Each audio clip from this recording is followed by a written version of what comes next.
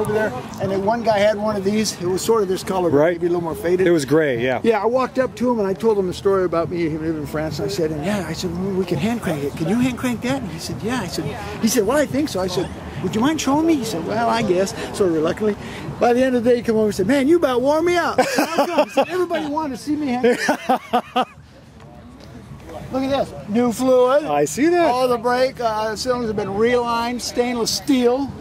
Cups- That's nice. They had new cups and all that junk in them, but Yeah. they were just. They, he said Yeah. they ran a whole hole through them. Uh-huh. You know, they were still good. So they were leaking, of course. I had a 56 MG Magnette. Oh, The starter gave me trouble, and I would hand crank that baby to start it. Really? Isn't that cool? They had that backup. Ah, I I thought it was just way cool. Yeah, I love that.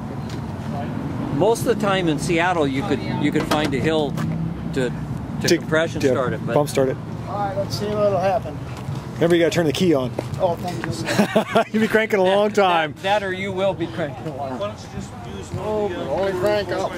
Don't crank Hey, can you crank me out one of those uh, one of those cupcakes?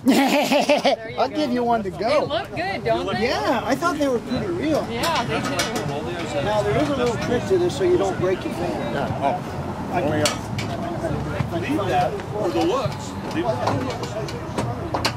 Oh, right, that's what I said. It does look snug. Yeah, I would have never noticed.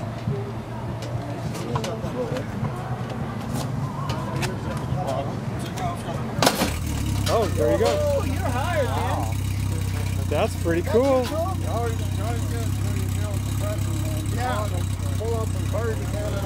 That's what I did on the first time, and I was so impressed. My one neighbor said, "I thought you were going to jack it up."